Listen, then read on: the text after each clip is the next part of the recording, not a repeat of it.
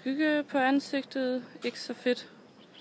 Ikke skygge på ansigtet, meget bedre. Hvad tror du, der var i tomatsovsen i går?